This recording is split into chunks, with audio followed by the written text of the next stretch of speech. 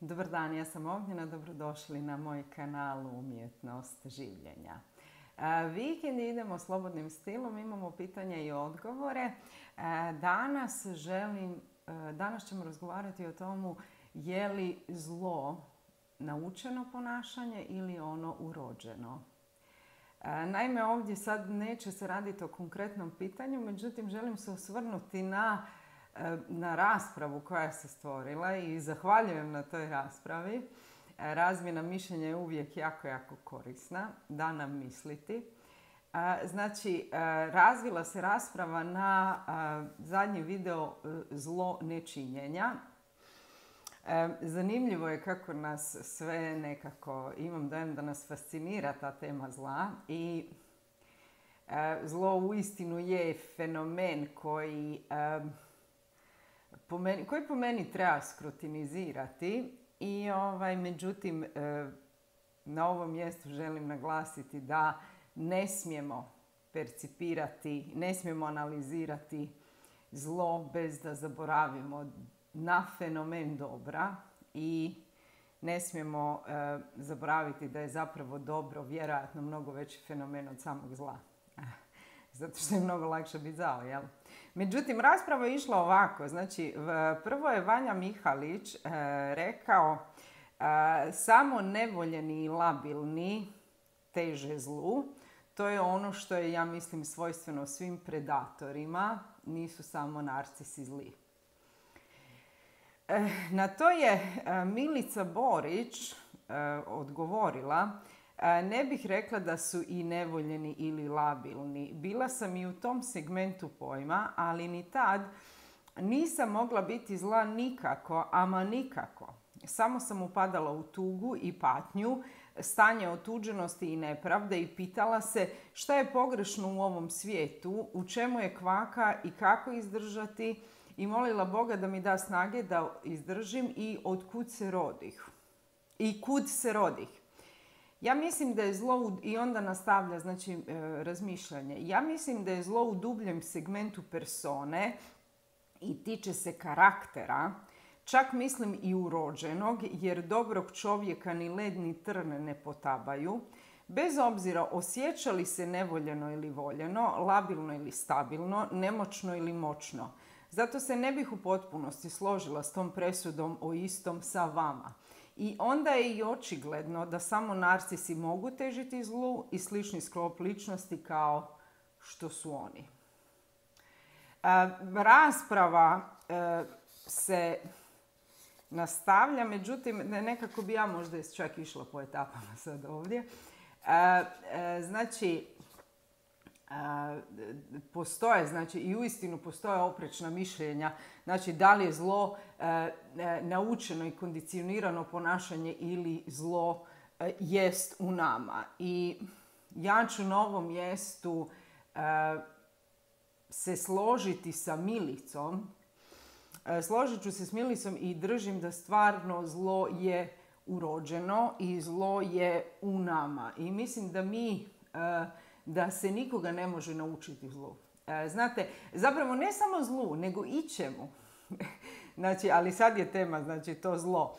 E, šta ja time želim reći? Recimo, ja kad radim s ljudima i e, znači, kada, kada nekako kompletiramo, znači neki, neki, neki kad uspješno znači riješimo neke probleme i stvari koje su nas mučili, meni klijenti, i sad stvarno želim zahvaliti svim mojim klijentima, meni klijenti e, nerijetko kažu jao kao e, Ognjena baš ste mi pomogla i slično, kao sve ste to uradila vi.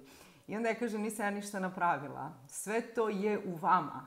Znači, ja sam vam samo pomogla da u sebi vidite ono što ja vidim u vama i da to sebi osvijestite. Znači, po istom ključu znači, funkcionira i zlo. E, vi ne možete u nekoga staviti ono što taj neko nema u sebi. I naravno e, da postoje e, situacije gdje se ljude e, trenira zlu i okrutnosti. Postoji dosta i filmova na tu temu. Znači, kada se recimo djecu zaboravila sam kako se zove taj film, znači kada znači oni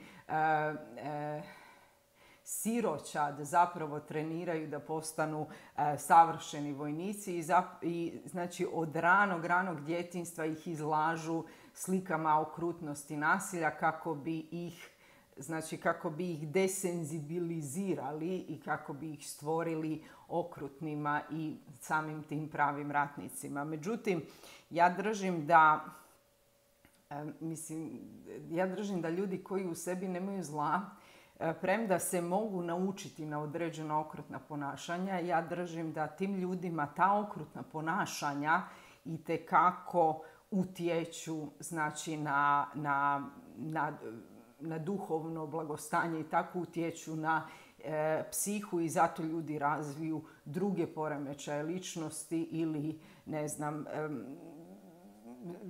zabrazde, ne znam, ili u ovisnosti ili u nesanicu, zato što e, dobro u njima ne može podnijeti to kondicionirano ponašanje. Isto tako držim da e, čovjek kad u sebi je prevalentno zao, e, ma kako se ponašao ili ponašala dobro, mislim da je dovoljan samo jedan otponac koji će izazvati to zlo da izađe na površinu. Jer kažem da e, uvijek ponavljam, mi ne možemo u nekoga staviti nešto što ta osoba u sebi nema. Znači ako vi u sebi nemate zla, onda vi ne možete se stvoriti, ne možete se e, modificirati da postanete zli. Isto tako, ako u sebi nemate dobra, e, vi ćete jako teško prepoznati dobro u drugima. Vi ćete jako teško vidjeti dobro u drugima i tamani da vidite to dobro u drugima, vi e, ne možete razumjeti to dobro. I na taj način ja objašnjavam e, okrutna ponašanja drugih. E, jer kako ja uvijek govorim, mi svi postupamo uvijek u granicama svog znanja, a nažalost ne znamo svi jednako. I zli ne razumiju dobro i samim tim nemaju poštovanja prema dobrom. I, i slijedno zli ne razumiju okrutnost svojih postupaka. Jer ja volim misliti da kada bi razumjeli okrutno svojih postupaka ne bi tako postupali. Jer u svima nama, znači e, to sam, to sam već govorila, u svima nama postoji trag one druge prirode. Znači to je ta dualnost postojanja koju Milica čak i spominje. E, znači e, svi mi imamo, znači dobro u sebi ima rudimentarno zlo kao što i zlo u sebi ima rudimentarno dobro. Problem je što znači, kod zla je prevladalo zlo.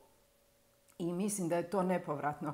I sad, znači, Vanja tu dalje govori, vjerujem da zdravo odgojen čovjek ne zna biti za u patološkim razmjerima. Naravno, to ne znači da sam u pravu. E, ja ću tu zapravo postaviti pitanje Vanji, e, da li se zlog čovjeka može odgojiti?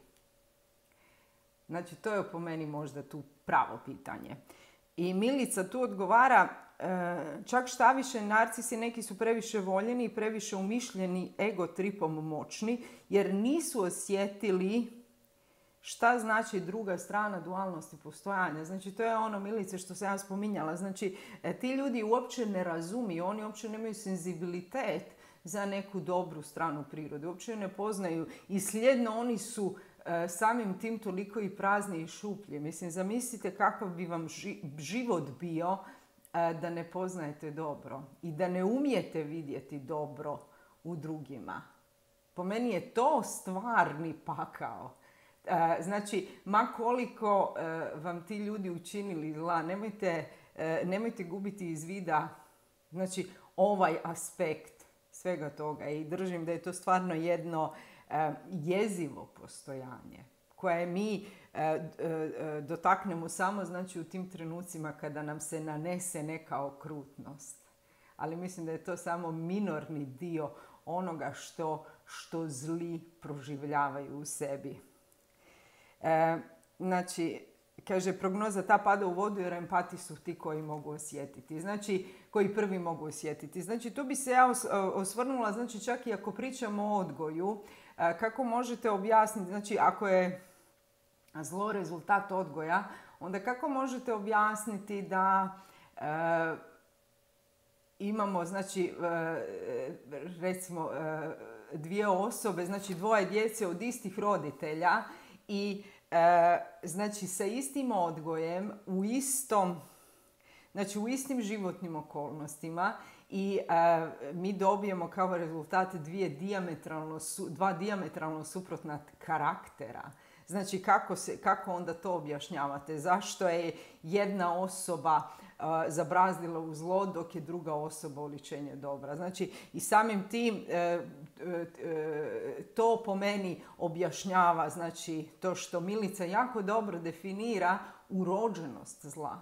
I ja mislim da u sve nas se stavi i zlo i dobro, a, a, to zlo ili dobro zapravo prepozna,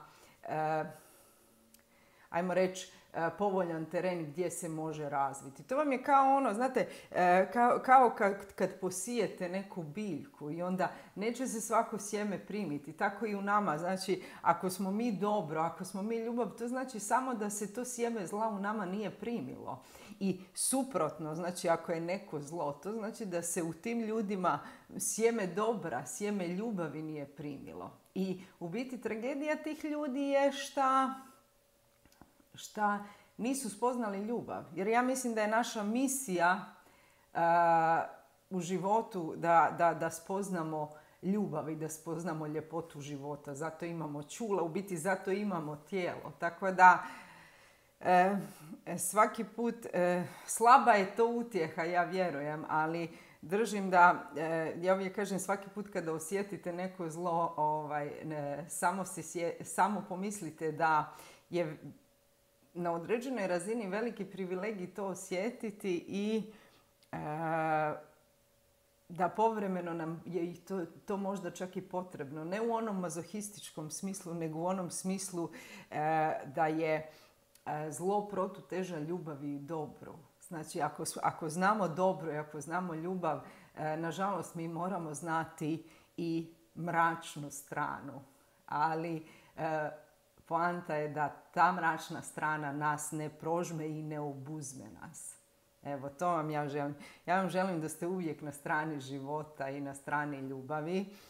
Hvala vam svima znači, na komentarima i hvala vam na ovoj dobroj raspravi. Znači, razmjena mišljenja ideja je, je, je nešto što ja uvijek podržavam zato što nam e, postavi nužna pitanja i da nam misliti. Pozivam vas da ostavite svoje komentare ako imate pitanja, ostavite pitanja. Znači, hvala vam što me pratite, hvala vam što slušate reklame. Ako želite raditi sa mnom, javite mi se putem maila. A do sljedećeg razgovora budite mi zdravo, dobro i veselo. Ćao!